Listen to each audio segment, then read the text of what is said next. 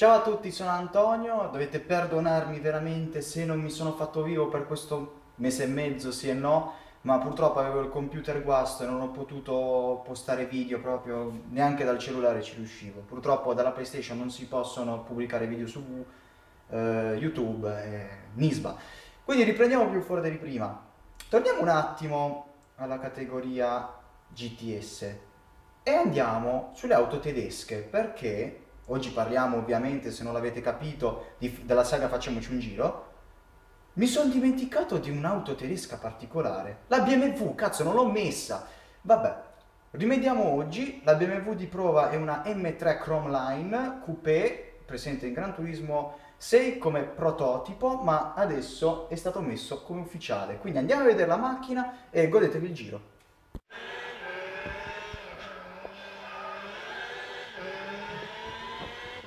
Bene, eccoci su questa macchina. Questa l'ho aggiunta dopo che su Gran Turismo è stato Gran Turismo è stato patchato per mettere appunto questa bellissima BMW. Veniamo alle note tecniche. Allora, questa macchina innanzitutto è una um, GTS, quindi 570 pp. Con questa diciamo con questo regolamento la macchina ha 552 cavalli di massima e 1376 kg chi è attento avrà già notato il peso, è abbastanza pesante. Questa, questa pesantezza influisce soprattutto sulla frenata e sulla capacità di sterzata, perché come vedete nel primo giro avevo abbastanza difficoltà a sterzare soprattutto nelle curve lente. La macchina soffre abbastanza di sottosterzo, soprattutto a gomme fredde, poi quando le gomme si riscaldano un poco eh, il problema si risolve parzialmente Devo dire che va molto ma molto bene con le gomme consumate.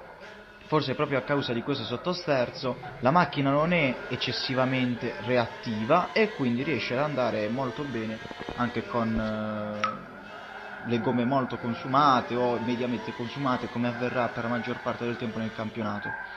Ha un'ottima accelerazione però ha un rombo che non mi sconfinfera, onestamente. Il rombo dal di dietro, quindi dai tubi di scarico, è bellissimo, niente da dire, però dal davanti sembra di guidare una macchina elettrica che mi fa veramente cagare. E quindi potevano fare qualcosina di meglio con questa macchina il team Polifoni.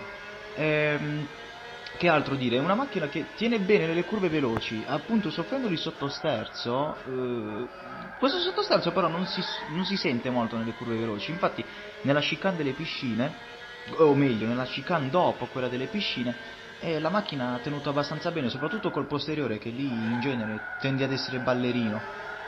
La, um, uno dei pochi pochissimi difetti oltre al sottosterzo è appunto la frenata. Bisogna frenare molto presto e um, settare le sospensioni abbastanza morbide da poter consentire una frenata in sicurezza. Allora, io concludo qui il commento di questa macchina perché eh, vo mi voglio ancora scusare con tutti voi se sono mancato in questo periodo. Però ripeto, ho avuto il computer rotto e dalla PlayStation non si possono pubblicare video, tantomeno dal cellulare che ho scoperto che nonostante sia iscritto a YouTube non, non è possibile. Ehm, da ora in poi riprenderò a fare video a manetta, il prossimo video dovrebbe, dico dovrebbe essere sabato, quindi eh, sempre con la categoria, con la saga facciamoci un giro perché dobbiamo concludere prima di settembre, dobbiamo andare passo spedito. Quindi ragazzi se il video vi è piaciuto cliccate un bel mi piace e se non siete ancora iscritti al mio canale fatelo così aumentiamo le iscrizioni e la visibilità del canale. E, um, un grazie a Sandro, a Sandro, del team GT Open Nation per sponsorizzare ancora una volta il campionato. Noi ci vediamo al prossimo video. Ciao ragazzi!